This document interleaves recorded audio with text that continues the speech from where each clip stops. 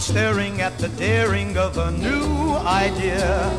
That's what Camaro means. A slung low kind of gung ho kind of. Tom Putnam was born on a family ranch in Petaluma, California on June 23, 1903. He had two younger brothers, John, who became a professor of engineering at California Berkeley.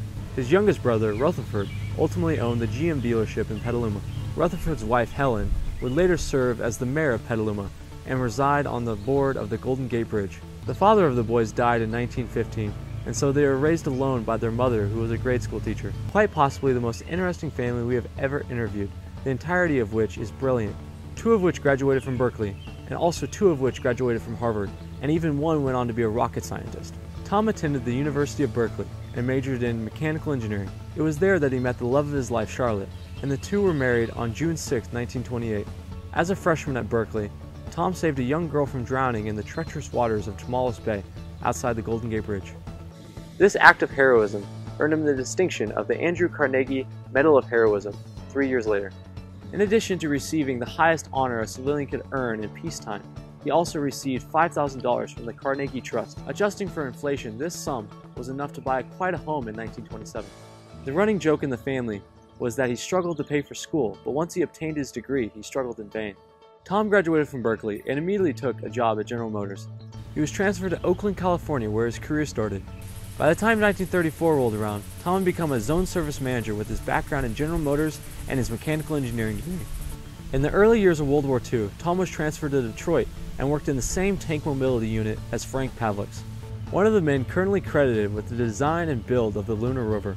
Frank was tasked with soil testing while Tom was dutifully designed to train personnel to service the designs. They ultimately achieved a tank with wheels in the front and a tracking system in the back that allowed for higher rates of speed and also be more agile in the war efforts of North Africa. After the war, Tom was promoted to the National Service Director and remained in Detroit. His image graces many historical documents and General Motors functions throughout his tenure. It was during his tenure that another highly sensitive venture was being undertaken by General Motors. In the final stages of the Electrovair design and build in Santa Barbara, California, the program was then moved back to the Tech Center for final touches in the summer of 1965. The leader of this division, Mr. P.D. Agrawal, and 12 other engineers involved in the very first battery electric passenger car resumed their efforts in the confines of the Technical Center and finished in the summer of 1965. The only fully operational Electrovair is still in the possession of General Motors and is showcased at the GM Heritage Center. Ultimately, the feasibility of this program was abandoned and then refocused on an alternative end use. Tom Putnam's name, as it appears in the F-Car pilot book, represents the crowning achievement of his career. Mr. Agrawal's division was renamed Electric Drive and was focused on building a lunar testing vehicle in 1966. Because this unit needed to operate outside the prying eyes of individuals that were not debriefed, it received its operating budget from two other divisions. The budgetary responsibilities fell on the National Fleet Service and the Sales Division.